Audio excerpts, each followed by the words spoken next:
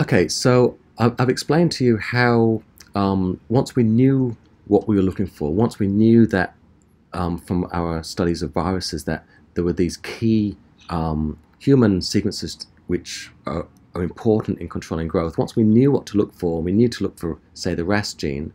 Once you get the tumor samples and look for it, you can see it's got the mutation. Okay, so there's a, another good example from the from this recommended reading book, the, um, um, Weinberg's Biology of Cancer, that, um, they, they talk about the strange case of Burkitt's lymphoma. Okay, so again, this is a good example because you can clearly understand, once you look at this example, how they found the gene that was involved in cancer.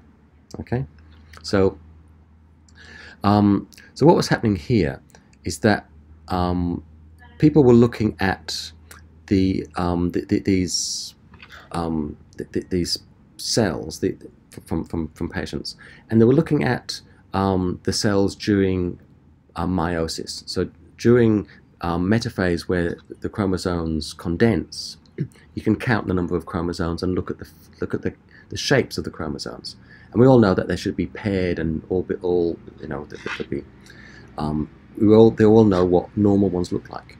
So, in in the case of Burkitt's lymphoma, when they looked at the metaphase chromosomes, they identified some abnormalities which were, could be seen down a microscope. So this is one of those ways you could pick up the genetic change even though you didn't really have a good techniques to sequence back in those days. Okay, so they picked up these chromosomal translocations that were identified in patients who had this kind of lymphoma.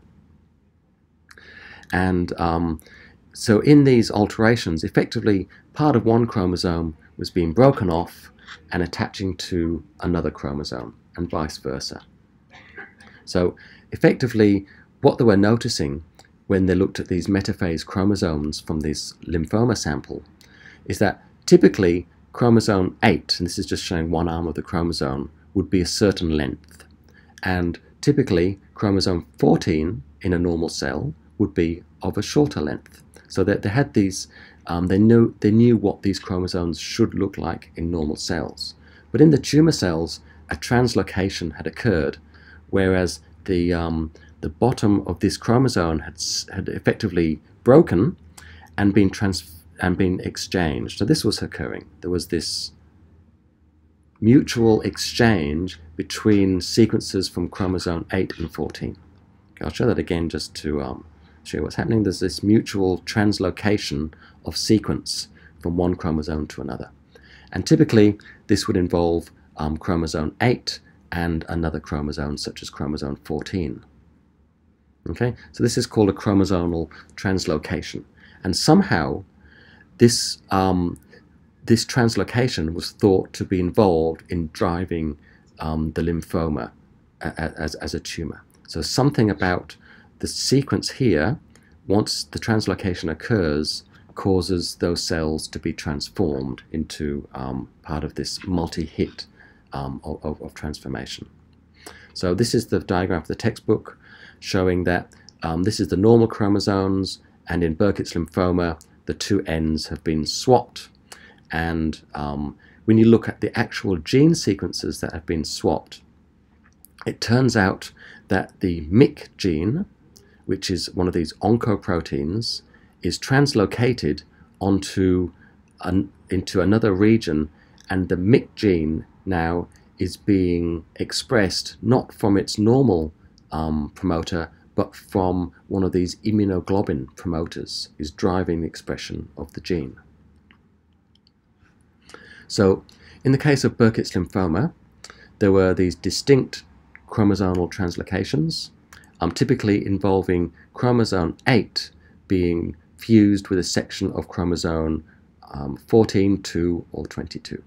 Okay, and um, so what is it about these translocations um, that's causing um, the tumor? So, like I've already said to you, the, the MYC protein was on chromosome 8, and this sequence was being translocated to another chromosome, and then the MYC protein was being expressed by an inappropriate promoter. So um, so once the translocation occurs, the MYC gene is being put beside these immunoglobulin um, promoters. Okay, so um, there's a diagram here showing the normal chromosomes here. So these are the two normal chromosomes, 8 and 14, that we've been looking at in these other diagrams.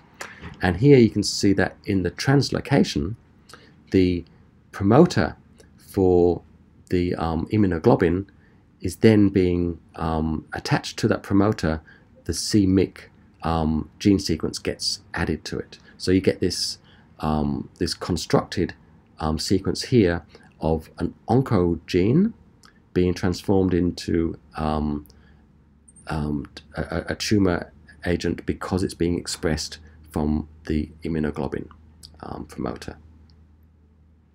So th th this process is being driven by normal cellular biology. Okay, and I don't know if you've got the background knowledge to appreciate this, but when you look at immunoglobulin genes, the immunoglobulin genes express um, antibodies that recognize antigens. So lots of different um, things the body has to respond to are recognized by these um, immunoglobulin genes. So within the immunoglobulin gene sequences, in normal biology, you get um, gene rearrangements. So the gene sequences are being chopped up and, and, and reorganized.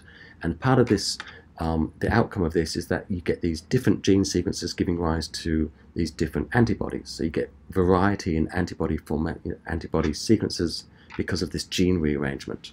But sometimes this gene rearrangement goes wrong, and rather than rearranging the um, immunoglobulin gene on one chromosome, the, the cell um, takes a sequence from another chromosome and mixes that up with the immunoglobulin gene. So this is a bit of normal um, re gene rearrangement occurring, but it's gone wrong and it's included another sequence in the re rearrangement. And unfortunately, the sequence that's been included tends to be this MYC oncogene put upstream or downstream of one of these um, high, um, highly active promoters so that the MYC protein is produced at high levels in the cell when it shouldn't be. And it's produced at the wrong times in the cell as well. So, so the enzymes that are normally responsible for rearranging um, sequences of the antibody genes, it inadvertently fuses part of the MYC proto-oncogene to the wrong promoter. And the upshot of this is that the c-MYC gene is then being transcribed at a high rate from the immunoglobulin genes, or the immunoglobulin gene promoter. Um, so again, once people understood that these translocations were occurring and causing um, gene dysregulation, people have looked at, um, um, have identified a bunch of these important proteins that are getting translocated and in, these different cancer types. So there's no need to, you know, remember what these are, but it just tells you that this is a common process for um, for um, inappropriate expression of these oncoproteins in normal human cells.